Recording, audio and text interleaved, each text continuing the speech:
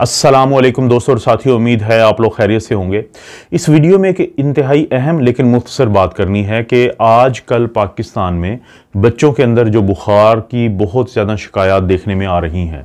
ना सिर्फ़ ये कि बुखार की शिकायत देखने में आ रही हैं बल्कि वो हाई डिग्री फीवर है यानी 102, 103, 104 बुखार होता है। अक्सर जो पेरेंट्स हैं वो हमसे ये सवाल पूछते हैं कि जब बच्चे को बहुत ज़्यादा बुखार हो जाए तो कहा जाता है कि इसको पट्टियाँ करें इसको स्पंजिंग करें। तो स्पंजिंग करने का सबसे अच्छा और वो क्या तरीका है कि जिससे बच्चे को नुकसान का डर कम से कम हो। तो इस बारे में ये वीडियो है तो सबसे पहले मैं कुछ बातों की वजाहत कर दूँ कि वो आपने नहीं करनी, जो आमतौर पे समझी जाती हैं कि जब आप बच्चों को बुखार ज़्यादा है तो उस वक्त आपने कुछ ऐसा काम कर रहे हैं, लेकिन हकीकत में वो बच्चे को उसका नुकसान होता है। पहली तो बात यह है कि अगर किसी भी बच्चे को 102 से ज़्यादा बुखार हो जाए तो कोशिश करें कि उसको स्पंजिंग करें, उसको पट्टियाँ करें, ताकि उसके बुखार की शिदत को कम किया जा सके। और ज़ाहिर है, साथ आपने डॉक्टर को दिखाया होता है तो उन्होंने कोई ना कोई आपको दवाई जो बुखार की दी होती है, जैसे पैरासीटामोल पाकिस्तान में बहुत ज़्यादा दी जाती है, सीरप की शक्ल में, ड्रॉप्स की शक्ल में, या टैबलेट्स की शक्ल में तो आपने बच्चे को वो ज़रूर देनी है, जैसे डॉक्टर ने कही हुई है। फ़र्ज़ करें किसी बच्चे का बुखार एक सौ दो से ज़्यादा है तो क्या काम नहीं करना? कि ठंडे पानी से पट्टियाँ नहीं करते। क्योंकि मकसद ये किसी तरह नहीं है कि बच्चे का टेम्परेचर बिल्कुल नीचे लेके आया जाए नॉर्मल से भी कम, जिसको हम हाइपोथर्मिया कहते हैं। बल्कि मकसद क्या है स्पंजिंग का या पट्टियाँ करने का? कि बच्चे का जो बुखार है, वो आहिस्ता आहिस्ता कम किया जाए। दूसरा ये है कि जब हम स्पंजिंग करते हैं तो इसका ये मतलब नहीं होता कि हमने एसी चलाया हुआ हो, हमने पंखा चलाया हुआ हो, क्योंकि उसका ये नुकसान होता है कि जब आप ऐसा करेंगे तो उससे बच्चे को शिवरिंग होगी कप कपाहट होगी। जब बच्चा शिवर करेगा तो उसका टेम्परेचर और ऊपर जाएगा कम होने की की बजाय। इसलिए जब आप बच्चे की पट्टियाँ करते हैं स्पंजिंग करते हैं तो कोशिश करें पंखा और एसी वगैरह ये जो है, बंद हो। और तीसरा ये कि अगर किसी भी दौरान, जब आप ये कर रहे हो, इसमें किसी भी वक्त पे अगर बच्चे को स्पंजिंग के दौरान, पट्टियाँ करने के दौरान शिवरिंग स्टार्ट हो जाए कप कपाहट स्टार्ट हो जाए तो फिर आप स्पंजिंग को रोक देते हैं। और जो पानी हम इस्तेमाल करते हैं, उसको हम कहते हैं ल्यूक वार्म वाटर, ये ल्यूक वार्म वाटर क्या होता है कि ये ठंडा नहीं होना चाहिए, या तो नॉर्मल टेम्परेचर हो, चाहे हल्का सा इसकी जो टेम्परेचर है थोड़ा ज़्यादा हो, यानी तीस बत्तीस और पैंतीस डिग्री सेंटीग्रेड के दरमियान, लेकिन यह नॉर्मल जो टैप वाटर होता है, जो ठंडा ना हो, ये बस आपके जहन में हो कि बहुत गर्म भी ना हो और ठंडा भी ना हो तो इसको हम कहते हैं ल्यूक वॉर्म वाटर, उसको एक बर्तन में लें।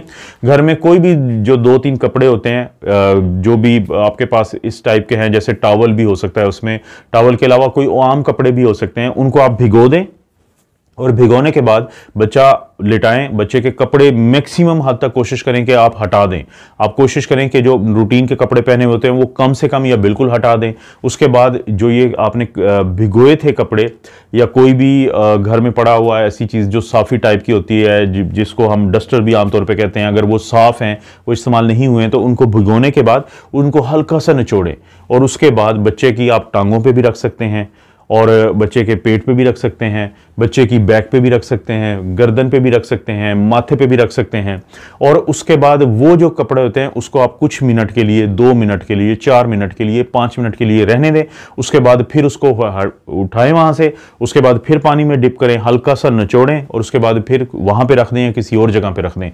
मकसद क्या है? मकसद ये है कि जो जिसम में ज़्यादा दर्जा हरारत है, वो इवेपोरेशन होता है पानी और पानी के अंदर ये ये जो बॉडी का टेम्परेचर पानी में आ जाता है और पानी फिर इवेपोरेट कर जाता है और इस तरह से ये एक ऐसा तरीका है कि जिसमें एक गर्म चीज़, यानी जो जिसम है वो गर्म हुआ हुआ है, उससे एक निस्बतन कम टेम्परेचर की चीज़, वो पानी जो उस कपड़े के अंदर है, उस टावल के अंदर है, उस स्पंज के अंदर है कि जिसको हमने बच्चे के जिसम पे रखा है तो उसके अंदर चला जाता है तो इस तरह से दर्जा हरारत जो है वो कम हो जाता है जिसम का।